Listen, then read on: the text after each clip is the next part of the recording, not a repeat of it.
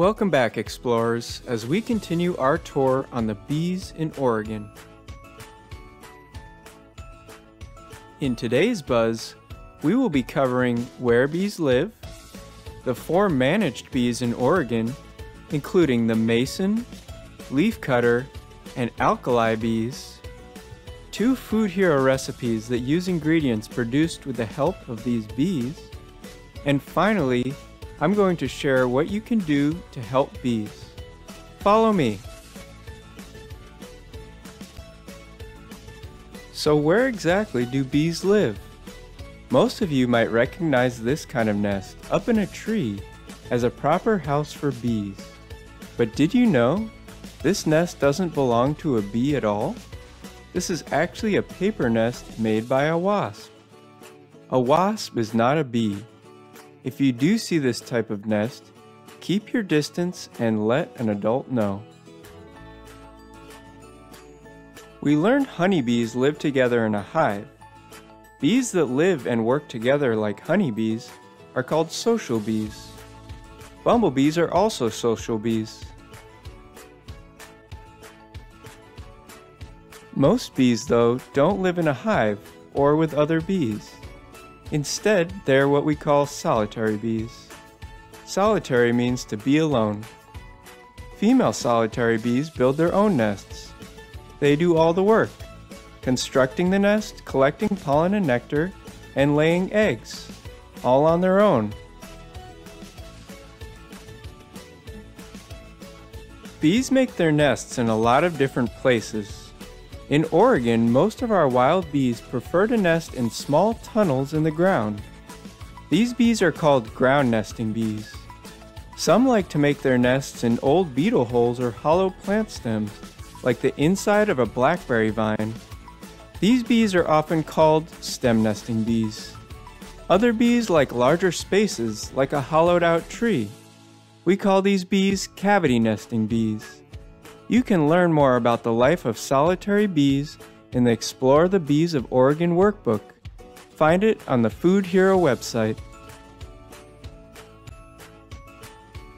You may have seen a wild bee's nest when you were out in the woods hiking. It is natural to feel scared of bees because, after all, we can sting. But bees usually only sting to protect themselves from natural enemies, such as birds and other insects, and animals that might want to eat them. When stings do happen, it's usually because a bee accidentally gets crushed or stepped on, or when people accidentally walk too close to a nest. If you see bees coming in and out of a hole in the ground or a hole in a tree, like this one, Maintain at least 10 feet of distance.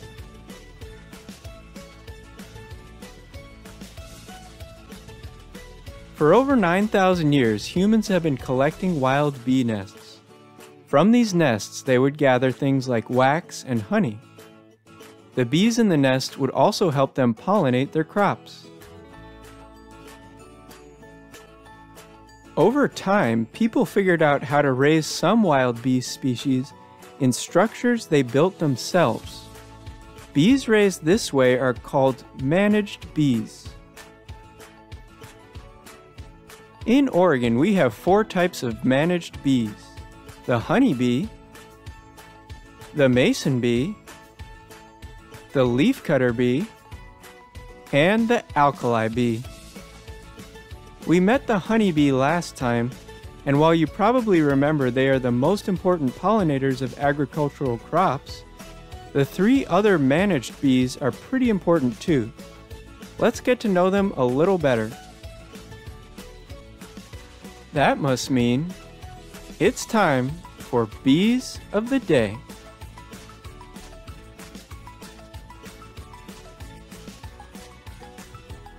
Meet the mason bee. Mason bees belong to the genus Osmia. They are called mason bees because they use mud or clay to build their nests. Managed mason bees like to nest in small tubes or in blocks with many holes in them. They are small to medium sized bees that come in brilliant metallic blues and greens, and sometimes black. They are pollinators of almonds, apples, blueberries, raspberries, and cherries, as well as many wild plants. In Oregon, they are most commonly used to pollinate cherries. And they are quick too.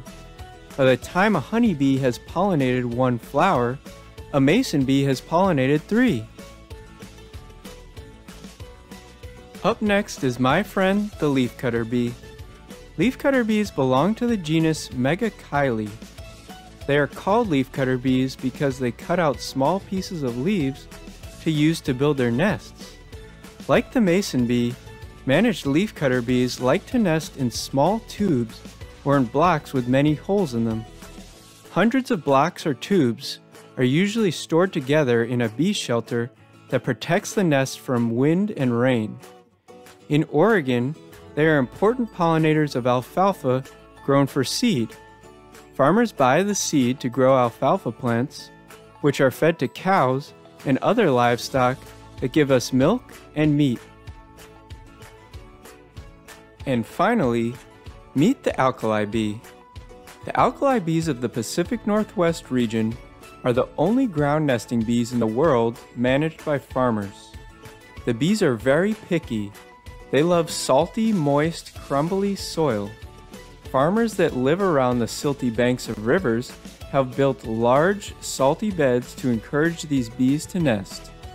Just like leaf cutting bees, alkali bees pollinate alfalfa flowers to make alfalfa seed.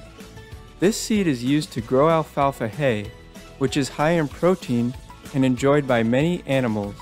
Even chickens enjoy alfalfa hay. Thanks to the hard work of my friends, here are some Food Hero recipes you can try making at home using ingredients they help produce.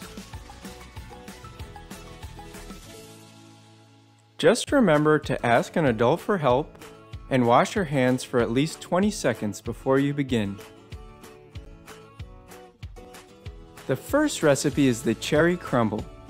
Cherries bloom in early spring when the weather still can be cold and frosty. Mason bees do some of their best work pollinating cherry trees while most other bees are still asleep and insulated in their nests. Think of mason bees hard at work while you enjoy the gooey cherry oat crumble. The second recipe is the tasty hamburger skillet. We learned the leafcutter and alkali bees help produce the alfalfa seed that many farmers and ranchers rely on because they depend on the nutrients of alfalfa hay, like protein, fiber, vitamins, and minerals, to produce meat and dairy products. Think about leafcutter and alkali bees hard at work when you try the tasty hamburger skillet. Now that you know how important and fascinating bees are, here are some simple things you can do to help them. Leave sticks, twigs, and woody debris in your yard or garden to provide a place for bees to nest. Grow flowering plants that produce lots of pollen and nectar. Some of our favorite easy to grow garden bee plants are clover, sunflowers, thyme, and cilantro. Healthy flowering plants mean healthy bees. They will thank you by continuing to work hard to provide the yummy Oregon foods that we learned about together. To learn more on what you can do to help bees, be sure to check out foodhero.org/bees. There you can also find the cherry crumble and tasty hamburger skillet recipes, as well as some fun activity sheets.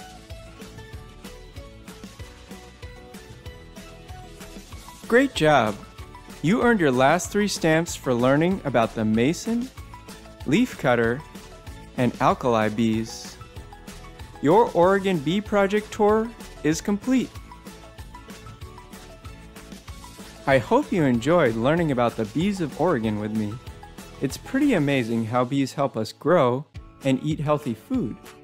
The next time you see a bee, remember to thank them. Be on the lookout I'm wondering, how many different types of bees can you find where you live? Thanks for exploring with me.